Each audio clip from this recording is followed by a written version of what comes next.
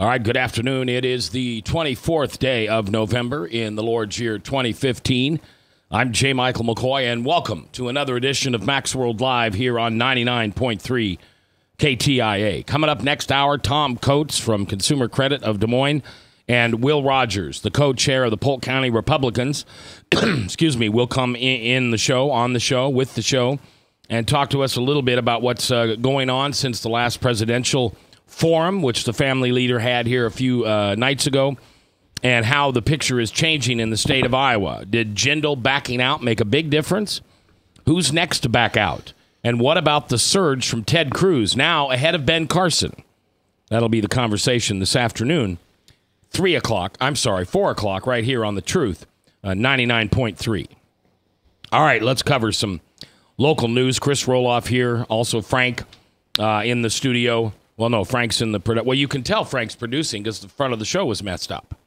Ryan would never mess that up, but you know when I didn't get my call me, call me, call me, call the J. Michael McKoy. Um, we didn't have any of that. Why'd you screw it up, Frank? And you missed that too, didn't you? Yeah. Why'd you screw it up? Uh, it, it's it's supposed to be automated, and something didn't automate. See, it's always somebody else's fault with Frank. He's a low information blamer. All right. Um. Huh. I mean, I don't even want to get to the big story of the day because I'm afraid that Chris, you and I are going to remember this day.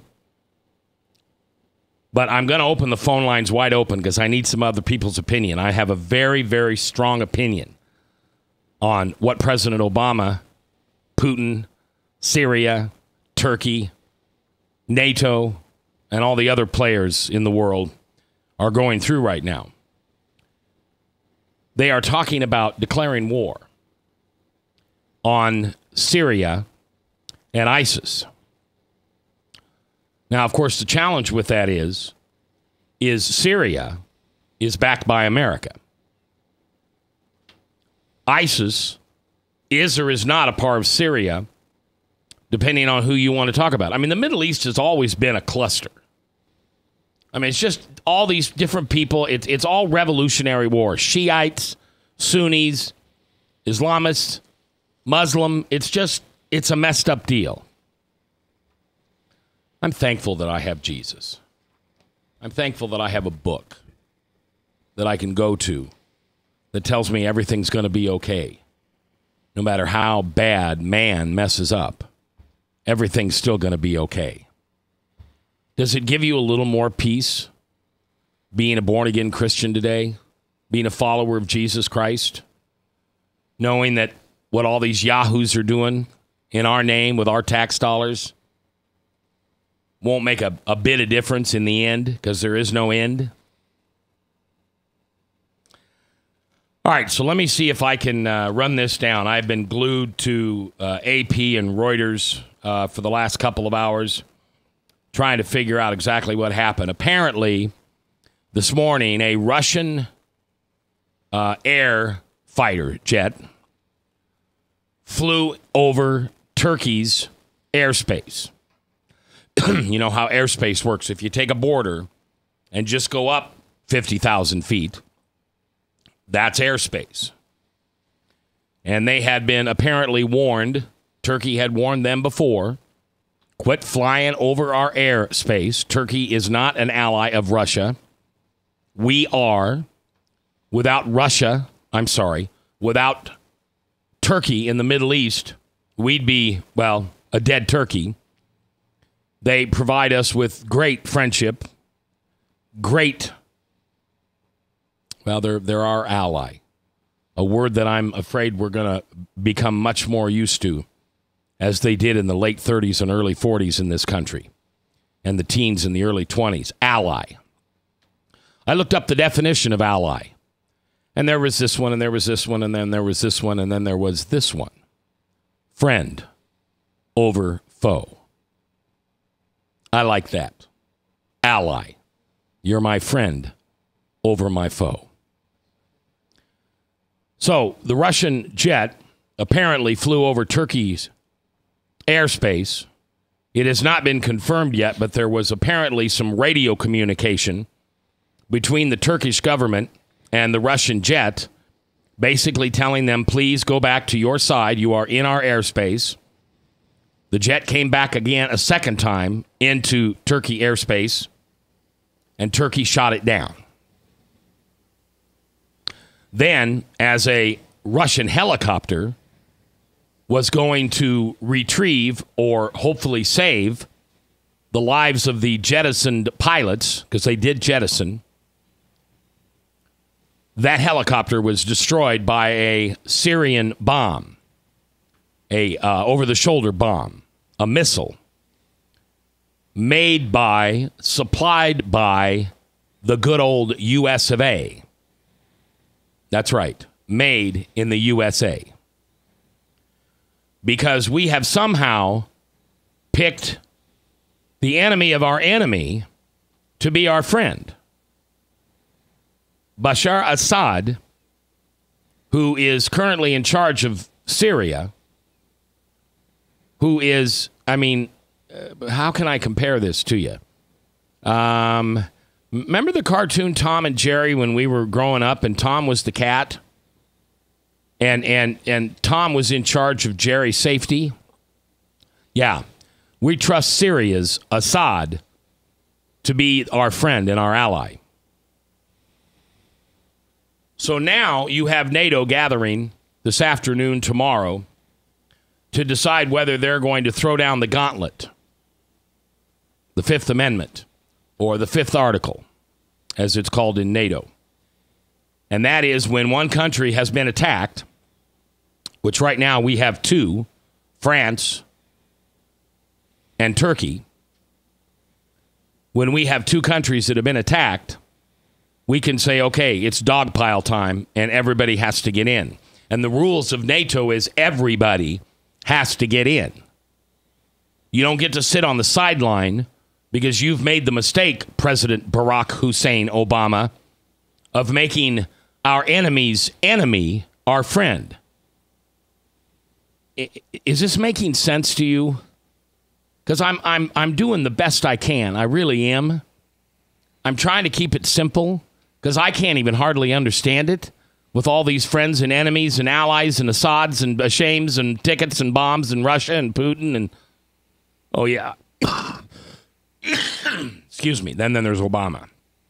I am getting better on my cough, Chris. No, you sound a lot better. Uh, I'm, you know, I'm trying to track on this stuff too because, um, like many folks my age, I think um, I possibly have put my head in the sand in some ways and also um, am led by emotions and rhetoric uh, and quick decisions and quick responses.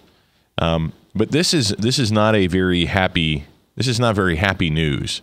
Uh, if I understand what you're saying correctly, uh, Mac, Turkey and Russia were allies. Is that correct? At one point, yes. Um, was that like up until yesterday kind of thing? That was up until Obama.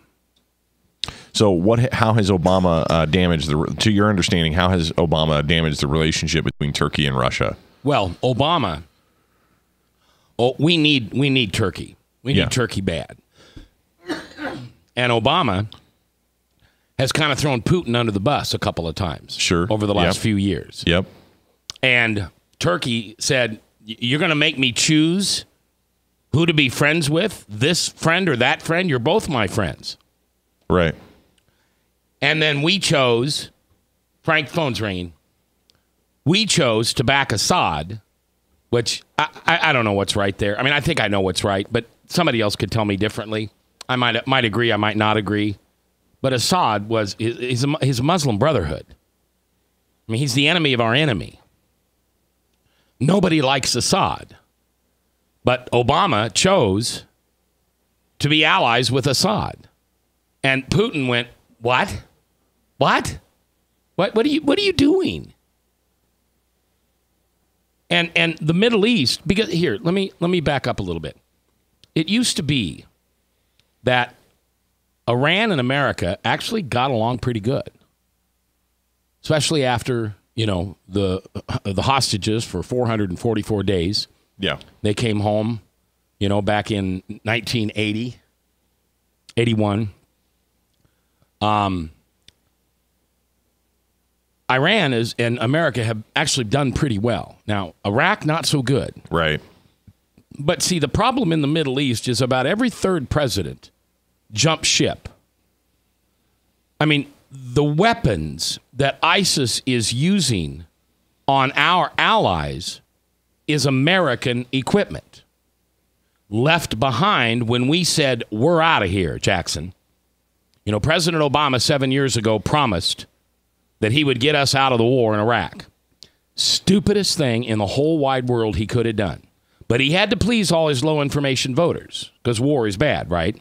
We can kill unborn babies by the millions, but war is bad. He has alienated Israel, who is our true ally. He has given Russia a foothold in Turkey, Syria, Iraq, Iran, Jordan, and Saudi Arabia are just madder than heck at Mr. Obama because he's just tossed all the popcorn up in the air and said, Well, let's see who lands. We'll pick you as a friend. No, no, no. We'll pick you as a friend. No, no, no. So um, it, it's just a mess over there. But now we've got NATO thinking about declaring war. And NATO was built on the fact that if one decided, they all had to go. I've got Army Brad on the phone. We'll talk to him in just a second. I've also got some very interesting local news I want to share with you. And then next hour, Tom Coates and Will Rogers here live on The Truth.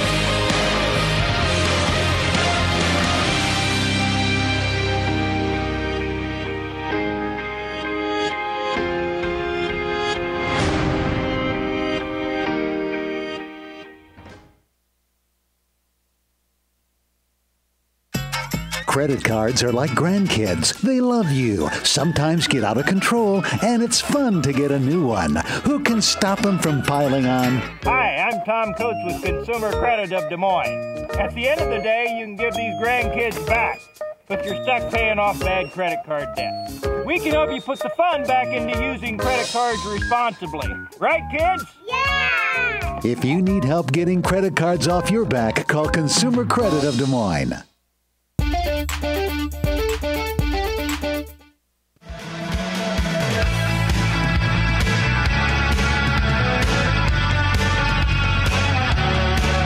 All right, 21 minutes after the hour, 3 o'clock, 24th day of November. in the Lord's year uh, 2015. I'm J. Michael McKoy. I, I think, should we retire him as producer? Well, you know, he's helpful. He is? You know, willing hands. When? Today, he's, he's a servant. He's there. He's available. I don't have to do it. You don't have to do it. I'd rather do it. Yeah. I'd rather do it. But you have to do all this cool. You have to know all this cool stuff. Well, I don't know if I know all the cool stuff or not. Let's get Brad in here. Brad is a uh, my, my my buddy Army Brad, and I call him Army Brad because Brad's been in the Army for how long? Brad, twenty some years. 30 years when I retired. 30 years when he retired. I called Brad earlier this morning and I said, Can you make sense of what's going on? And so I'm assuming he's either calling in to say no or he's made some some sense out of it. Brad, give me the best you got. Well, well, Mac, you were saying some stuff that was is just factually incorrect. Okay, good. Correct me. Well, Syria and Russia have long time been allies. Uh, yes. The Russians and the Turks have been at each other's or been opposed to each other before there was a Turkey and before there was a, a Russia. Um, I mean, we're, the Turkish Russian animosity goes all the way back to the Byzantine Empire, and they've they've been fighting for for twice or three times longer than there's even been a United States. So the fact that that the the Russians were going to push the limits with the the Turks was was a bad call on the Russians, but it's probably a, a was a bad idea for the the Turks to to shoot them down. But if you have that much um, history, it, it, doesn't surprise me really. Um, it, the mess in Syria um, is nothing else you can call it other than a mess because um, when the the Russians came in they were sup- supposed to, according to what the United States was hoping, is was they were going to start going after the um, ISIS, ISIL, Daesh, whatever you want to call them. But in reality, what they did is they started bombing along with ISIL, but they also started bombing the the, the people we put our you know pile of uh, chips on, and which is Assad. No, they're the Russians are all in with Assad. That is their man. They want to keep him. Um, when they saw that there was a vacuum, that the United States was not really going to go in and, and try to put him down, they were willing to su- try to prop him up. But but we we wanted we wanted two things. We wanted Assad gone and ISIL gone, and that that's probably not a wise thing to do because the two are uh, at um, opposition to each other we were trying to only support people that were willing to go after only ISIL. See, it, it's you know you got a, a civil war, a true civil war, where you got really not just even three groups. You have twenty and thirty groups that are moving around, making alliances to fight with each other against the one that they're most worried about. And we could not. We literally spent millions of dollars to get like four or five fighters on our side, not units, but people that were eventually. I, mean, I would go pay over there and fight for for the amount of money that we're spending to get get these handful of troops because they wanted to. It's kind of like if uh, if there's a civil war, they wanted to take Assad out. We didn't want to support anybody that wasn't just going to go after ISIL. Of course, nobody's going to do that because ISIL is the second threat. Assad is who they were actually started the civil war against. So it's a giant mess. And then the Russians came in, propped up Assad. There's no way he's leaving as long as the military support is there from Russia. But aren't we also militarily supporting Assad? No. Well, you know what? who knows what we really are doing? Because I don't think even we know what we're doing. We probably are actually secondhand supporting him. Yeah. Because there's there's no clear set line of what we are doing and what we're not doing. That's the the biggest problem. Is if if there's not if we are not going to be in the lead, then there it's not the Soviet Union anymore with Russia. Russia is, is only able to step in because there's a vacuum and there's a power vacuum where they can fill it. All right. Well, Brad, I appreciate you calling and trying to explain that to me. Th- Did that does that make sense to you, Mac? No. You understand it? Well, I'm completely lost. Well, I think Brad, you know, and to, you think know, Brad did a good job. No, you I'm did a still good job. completely lost. it's a conf- it's a confusing situation, and and one and Brad and, and Mac, I know you probably want to move on. There's some local news we want to talk about, but it is really not just a civil war uh, in the way that we think about it. Is it very clear cut, easy to understand? But you've got really lots of tribal people at war with one another in a very small, close knit region, um, and I and and you have not decades, but centuries Centuries. right. animosity because Right. you have Turks, you have Kurds, you have Syrians, you have Arabs, you have Christians, you have um, Sunni, and um, all all the different you know branches of, of Islam. And the the one good thing from an American standpoint is they hate each other more than they really hate us. We're like the third or fourth people down the list. They they would rather go after the person that they've had, you know, four centuries of animosity that's living across the street than having to actually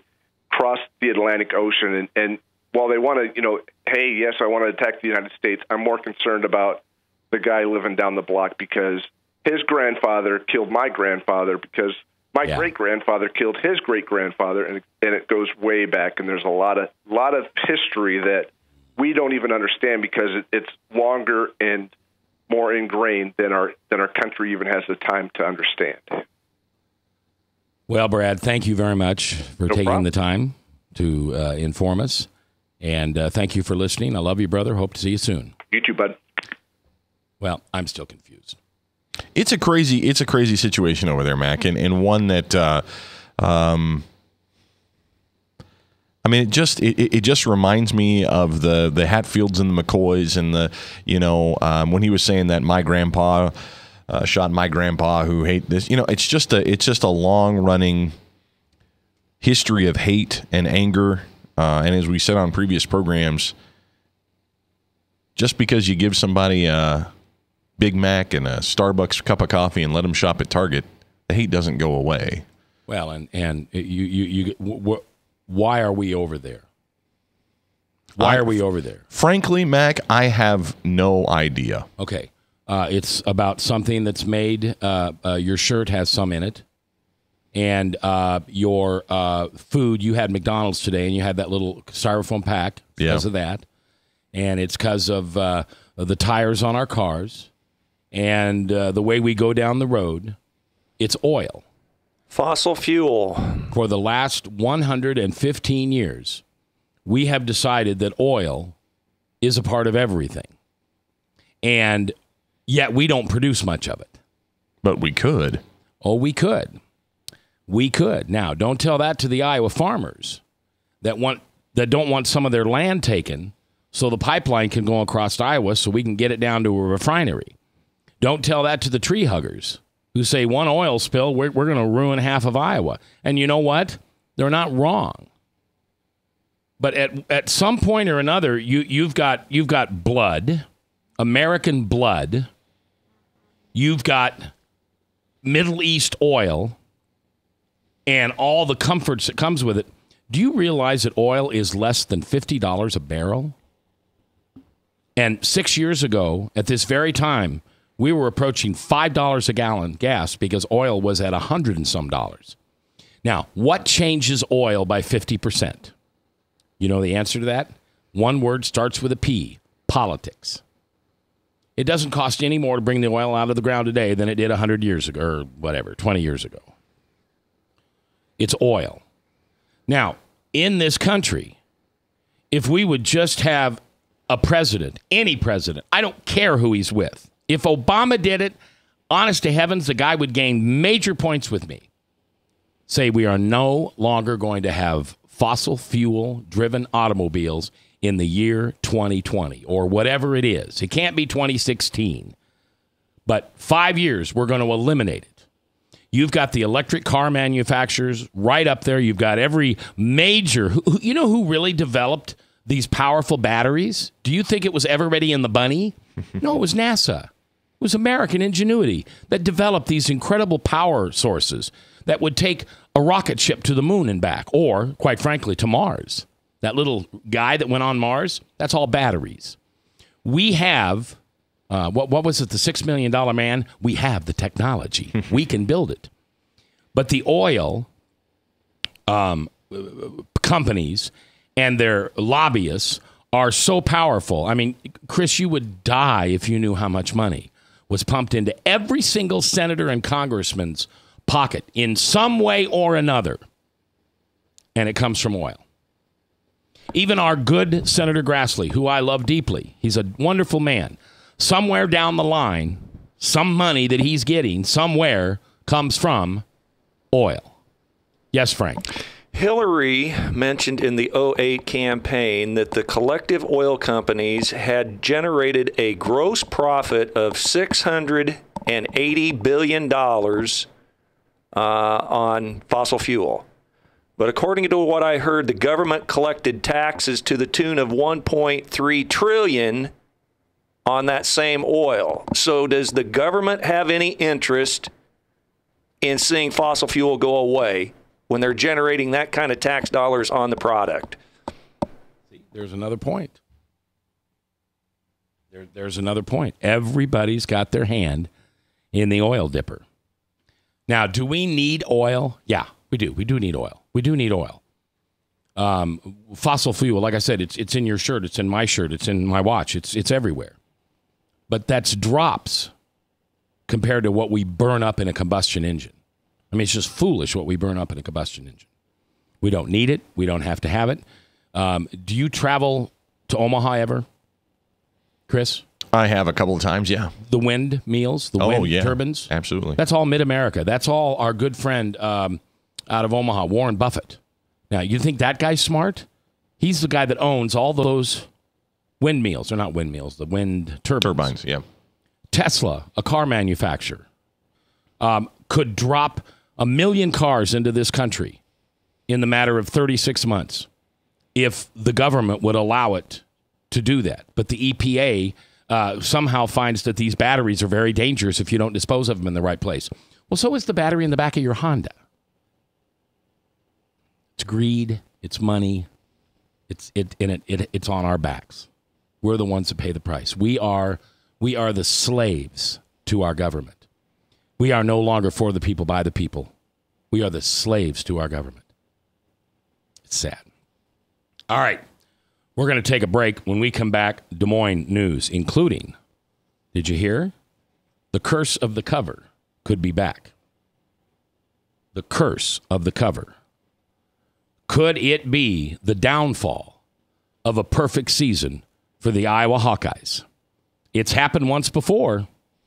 Does it will it happen again? We'll talk about that. And obviously the tragic death of a Des Moines woman, 22 years old, leaves four children behind with not a father in the picture to care for them. Four orphans immediately at 9 o'clock yesterday morning in Des Moines. Also, another big murder, and it's finally going to open. The Waukee exit off of I 80 35 will be opening here in the next few uh, next few hours, I believe. No, I'm sorry. It'll open at noon on December 1st. And uh, what a great thing that is for our community. We're coming back live here on The Truth 99.3. From the REMAX Real Estate Concept Studios, this is Webcast One Live. I'm Brian Leach, owner of Service Legends, and my position is Chief Talent Officer. I'm Nicholas Wonderscheid, I am Bernie Hobbs, and I'm the service manager. Marketing Director and Client Relations Manager. Everything that we do is about ensuring that we exceed your expectations. Our clients are important to us. 100% satisfaction. We're not just focused on heating and cooling. That's the easiest part of our job, actually, is fixing furnaces and air conditioners. Everyone that we come in touch with, we want to improve lives. Bottom line is, we've got our installation guarantees 25% energy savings guarantee, comfort guarantee, temperature selection guarantee, property protection guarantee. 100% satisfaction guaranteed. Fixed rate or it's free. All of those guarantees are backed up with a 100% money back guarantee to hold ourselves accountable to making sure that you get what you're after. Just fixing the problem today. If they have another problem five days down the road, it's still fixed rate or it's free. We use what's called straightforward pricing. Our technicians are going to give you an exact to the penny price on what it's going to take before they move forward with any repair. That way you know what to expect. It's the same price every day.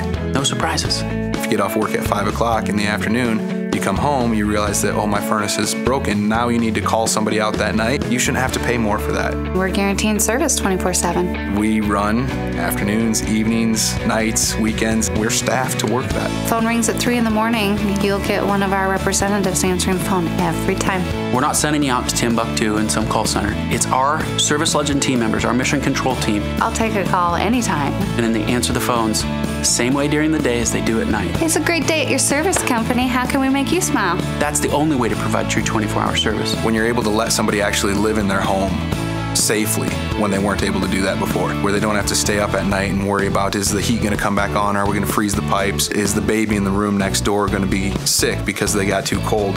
When you're able to help somebody overcome challenges like that, that's impacting a life. That makes a difference. I get goosebumps thinking about it. I love the team. I love the people that I work with. We have fun, but we work hard. I call them my ambassadors of legendary service. If you could just envision what that is, that's who we're sending to your home. They literally will call in, pick up the phone, and call and say, Hey, I want to talk to your manager. And I get on the phone, they're like, That technician that was at my house was the greatest technician ever. That's cool to me. We want to brighten people's days. Every person that we have going into the house has gone through an extensive background check. Drug testing, we have a very thorough interview process that one out of 140 people make it through. If we promise you something, that's what you're going to get, no matter what. We're here when you need us to protect the safety and comfort of your family. If you're not happy, we're going to make it right. If we're willing to put 100% money back guarantee on what we do, what type of work do you think we do? Give us a call. We're there for you 24 7, 365 days a year. Enough said.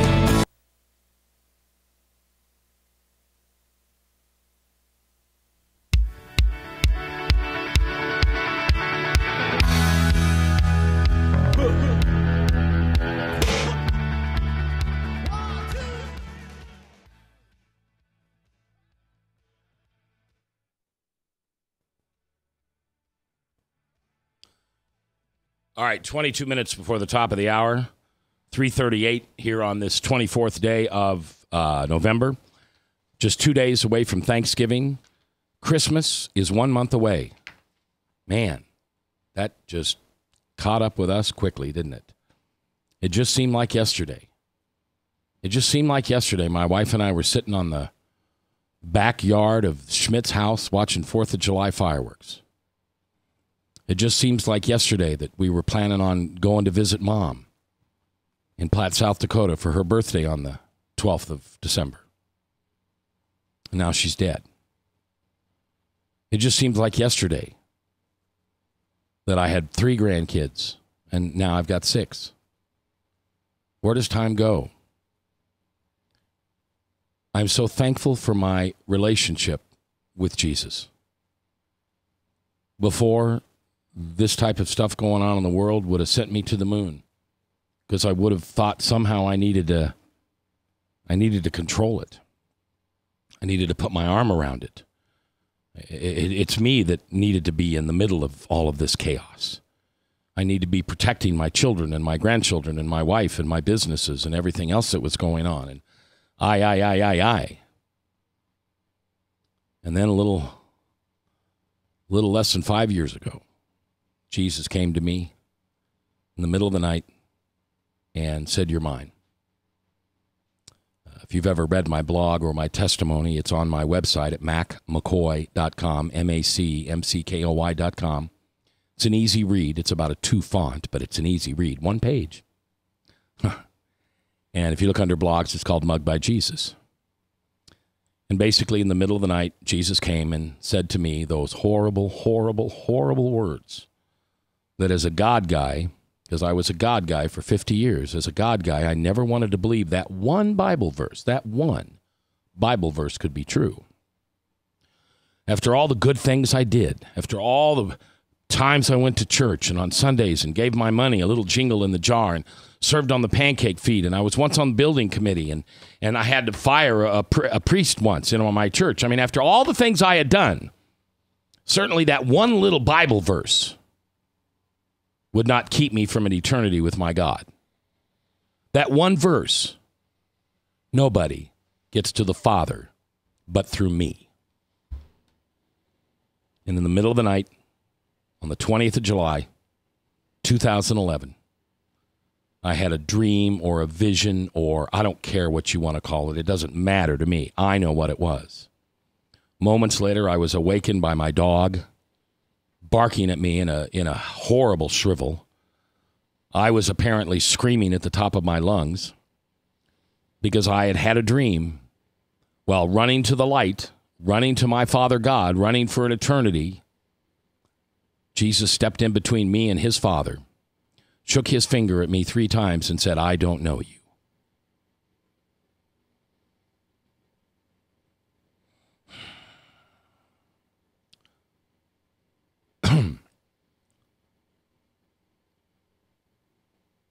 So the next day, I got on the phone and I started calling the pastors that I know. I called in the I called in all the favors, you know what I mean?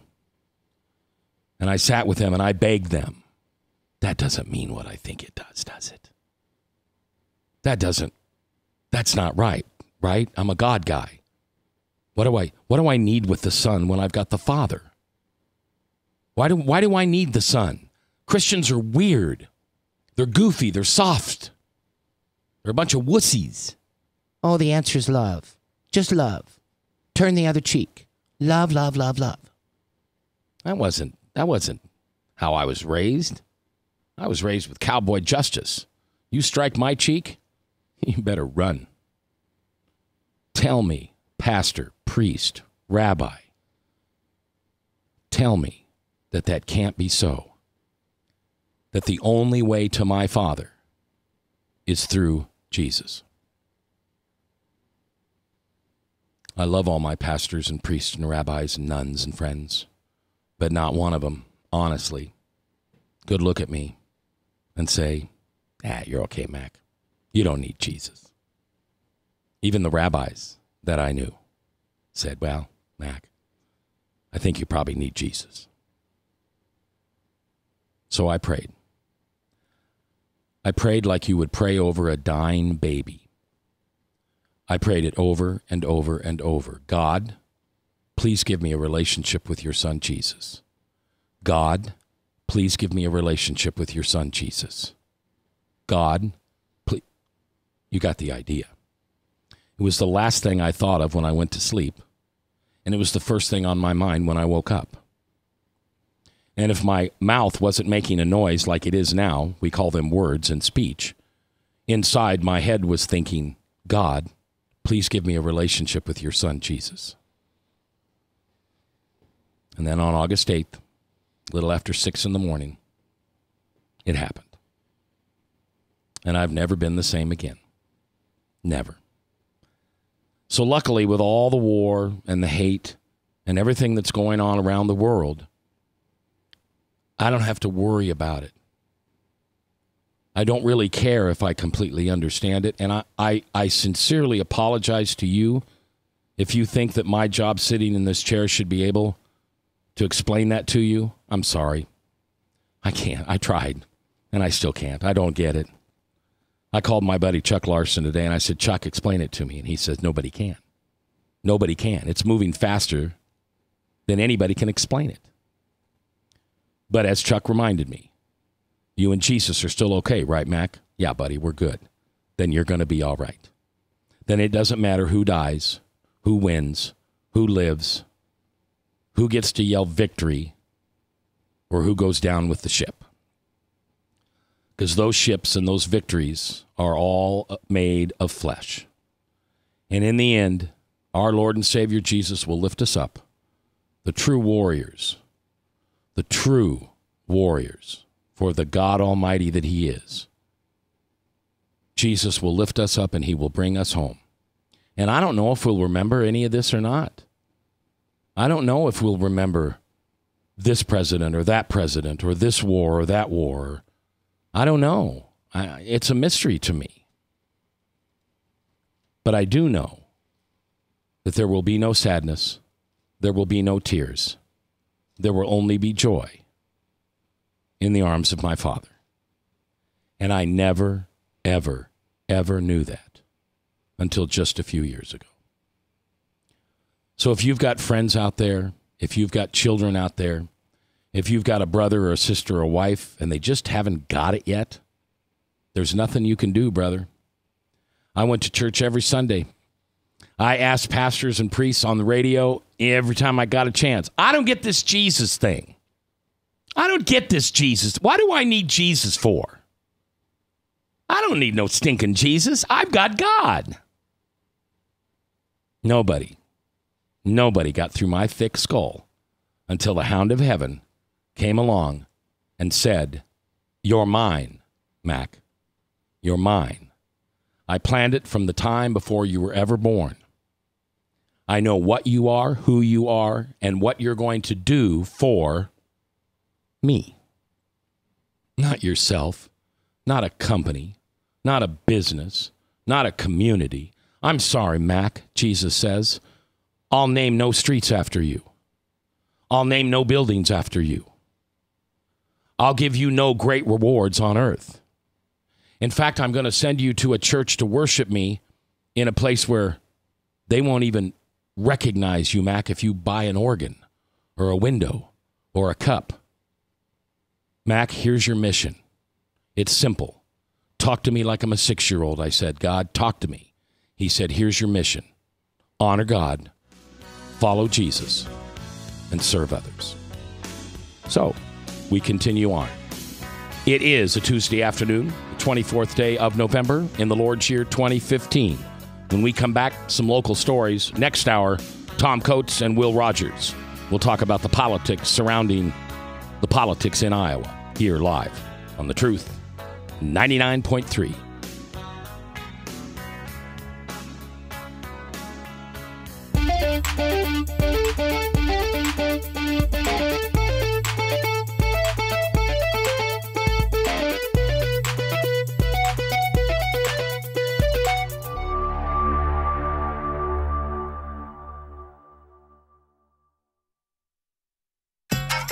Credit cards are like grandkids. They love you, sometimes get out of control, and it's fun to get a new one. Who can stop them from piling on? Hi, I'm Tom Coates with Consumer Credit of Des Moines. At the end of the day, you can return the grandkids, but you're stuck paying off bad credit card debt. We'll help you put the fun back into using credit cards responsibly. Right, kids? Yeah! If you need help getting credit cards off your back, call Consumer Credit of Des Moines. Hi, my name is David Burrier, your Hope Coach. I host a live weekly talk show called I've Been There every Thursday afternoon at 5:30, right here on webcast1live.com, and on my weekly radio program Saturday mornings at 10 on Truth Network 99.3 FM. I interview common everyday people who have survived incredible life challenges and who testify to God's faithfulness in the midst of their storms. So join me as we bring a message of hope and encouragement. Everybody needs hope. I know, because I've been there.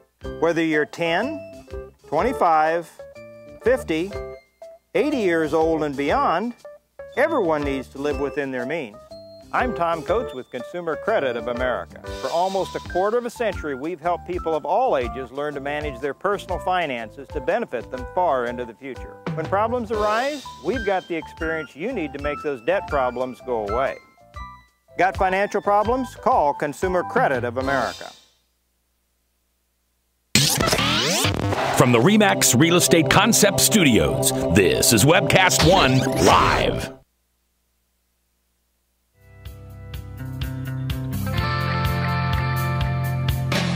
All right, 10 before the top. Salem Radio Network News at the top of the hour. Chris Rohloff in studio right now. You know, we were just talking about off off uh, microphone a little bit. Um, I didn't plan that testimony I just gave you. Uh, there, it's not in my notes. It's nowhere. That came from this very, very soft, comfortable, patient, peaceful, serene guy that Jesus makes me. Because here I'm trying to explain to my audience, which used to, I got to tell you something. It used to be very, very important to me that I would be able to explain difficult political situations to you. I would write him out and write him out and write him out and edit it and erase and back scratch and, and paste and copy. And I don't know. I just had a piece that said, Mac, you ought to really tell people what's important on the radio. It isn't who Assad's on and Russia did this and Turkey shot down that. And I know it has an impact and I'm going to get better at understanding it. I'm going to try. But the thing that I was overcome with was here's what I do know that Jesus saved my life. And I was a schmuck. I was not a very good man. And nobody could tell me that except Jesus. Frank, what do you want? Do you have that peace that passeth understanding?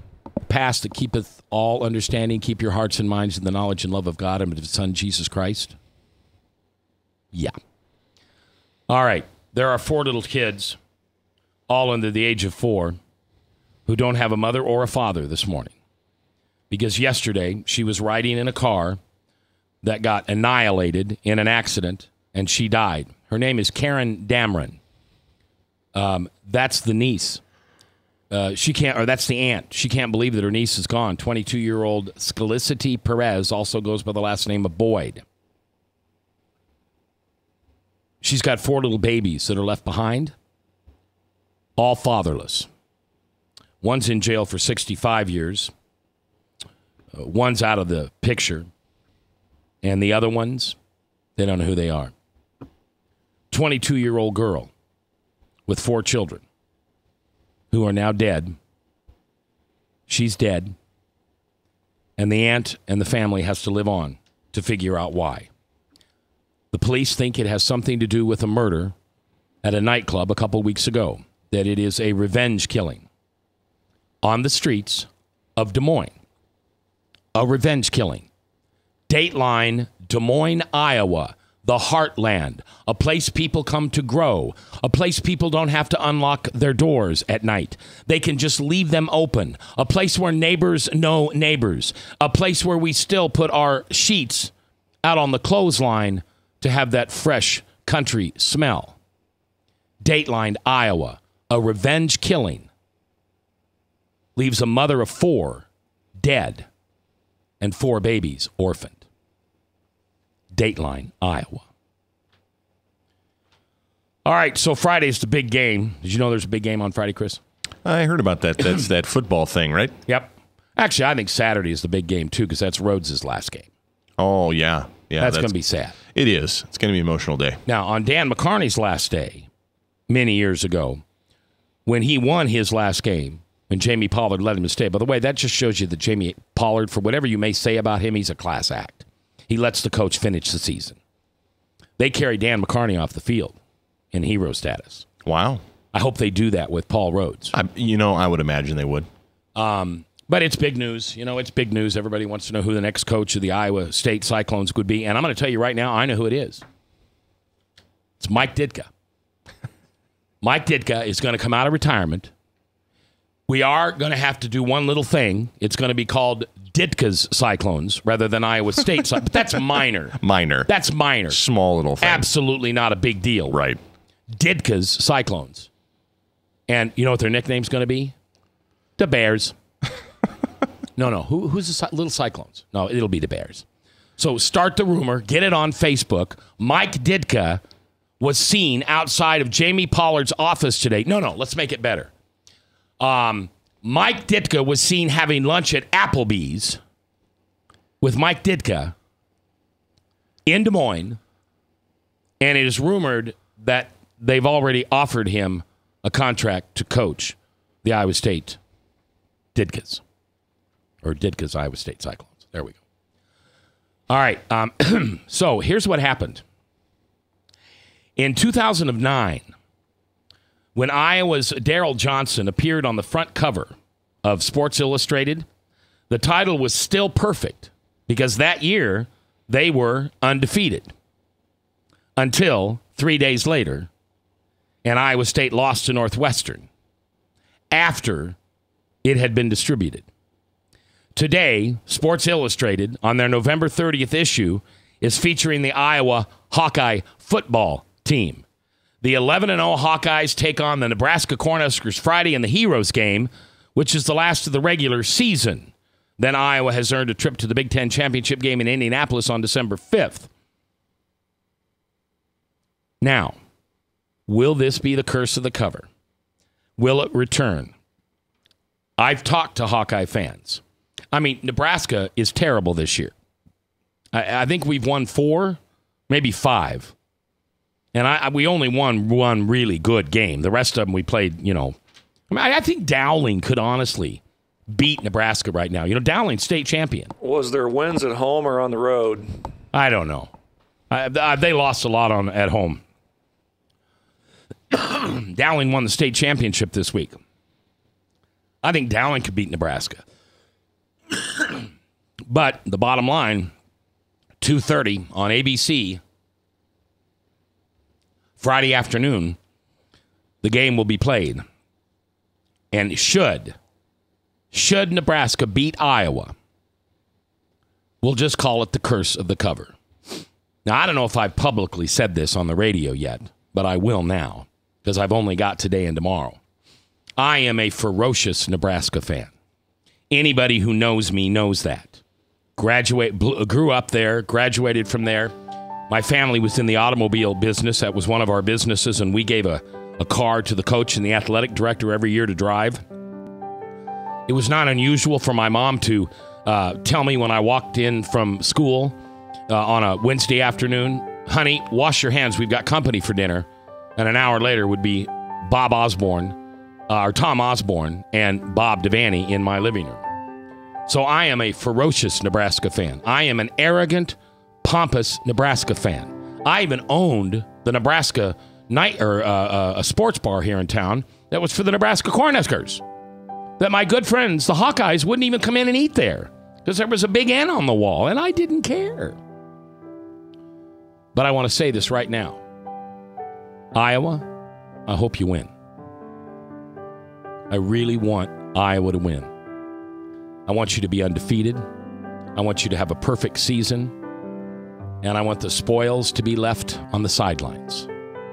Nebraska doesn't deserve to beat an undefeated Hawkeye team. Should Nebraska win, I will go back to being my pompous, arrogant self. But for right now, mark it down. It has never been said by this cowboy before. I hope this Friday, the Heroes game, when Nebraska takes on Iowa at Memorial Coliseum in Lincoln, I hope the Hawkeyes walk away victorious. Will Rogers, Tom Coates next, the presidential elections, here live on The Truth.